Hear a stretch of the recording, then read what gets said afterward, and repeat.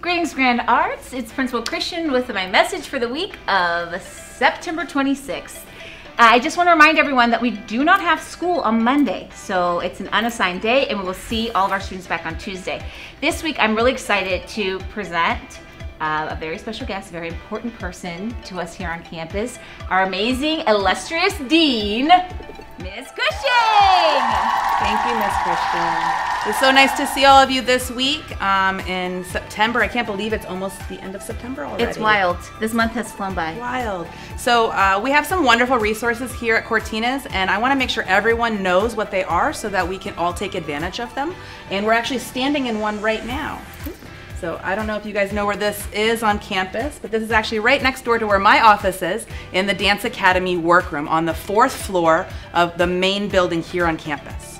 And um, I don't know, what do you think? Well, what are some of the things that, how can students uh, access some of these resources? Because I see like toothpaste, a toothbrush, tissue, clothes, soap, all the great things. These yeah. are awesome. So we've collected a bunch of different resources and we're always taking donations. So if you're cleaning out your closet or your parents are asking how they can help the school, we're always accepting donations for this space. And it's meant to be for students if, let's say you forgot a pair of gym shorts, but you don't want to lose out on your lesson for the day. Or let's say you need a deodorant or a reusable water bottle because you're thirsty or any clothes at all. Um, all of this is free and available for students, all students, uh, all the time.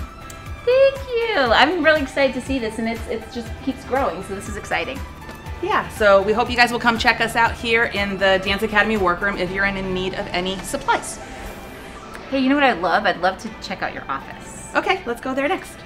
I love this space. It's just so exciting. There's so many wonderful little tidbits to see about who you are and I think what makes you such a great member of our family here at Grand Arts. Thank I would you. love to hear more about some of the ways that we you support students and support our entire school um, to ensure that you know we have a positive learning environment. Definitely. So as the dean, I have to say sometimes I get a bad rap because people think when they come to my office they're in trouble, but that's not always true. Um, I help students with a variety of things. Really, my job is about supporting students so that they can be the most successful here at Grand Arts. And so one of the things I added to my office, which is a crowd pleaser, is snacks. Because when you're hungry, you can, it's really hard to think and learn. Um, yeah. That brings them in. That draws the crowds. It brings me in too. It brings, I mean, okay. understand. I come for the snacks as well. Yes. Um, and some of the areas I do help kids with is we've had a lot of instances this year where kids are having difficulty with their peers, mm. either in class or sometimes online. Yeah. Um, and I can understand kids haven't had the chance to practice their skills because we've been in a pandemic.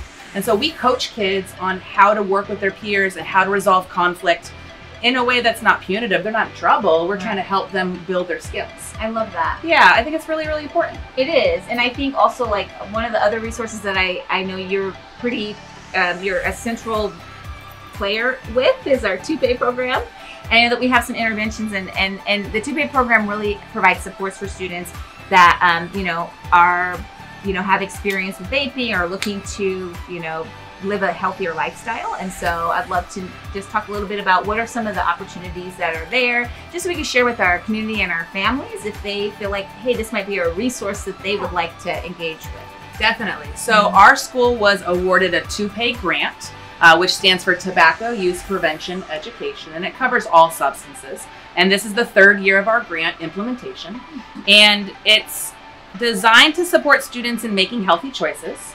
And again, it's not, if you decide you want to take advantage of this resource, it's not that you're in trouble, it's that we're trying to help you uh, and support you. And so through the TUPE program, we offer brief intervention, which is just a supportive conversation that they can have with me or another staff member, just to explore like the reasons why they might be experimenting with substance use, some of the healthy alternatives, how it might impact their family and their, their friend relationships. Um, and we know, especially with what's going on in the world right now, and how, how important it is for us to keep our students safe. And so it's really, really important to me um, that we give kids the supports when they're trying to make healthy choices.